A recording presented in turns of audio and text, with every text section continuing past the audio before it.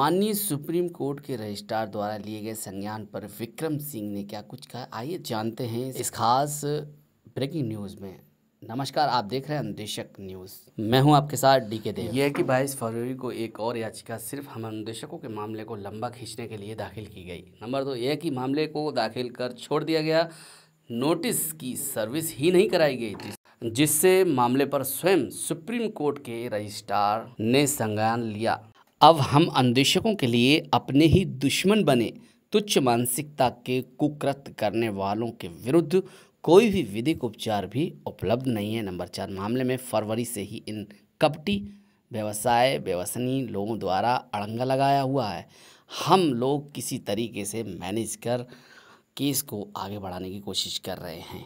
आगे विक्रम सिंह ने लिखा है, अब बिना सर्विस कंप्लीट किए मामले में कोई भी प्रगति संभव नहीं है।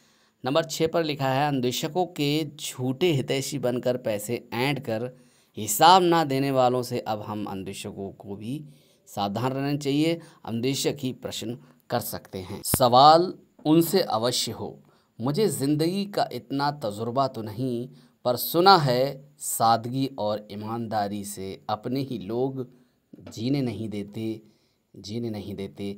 ये विक्रम सिंह ने अंतिम लाइन लिखते हुए दुख जताया है और खेद जताते हुए कहा है, जिन लोगों ने ये विघन डाली है, ये अत्यंत घृणित है। इस कुकृत को माफ़ नहीं किया जा सकता है।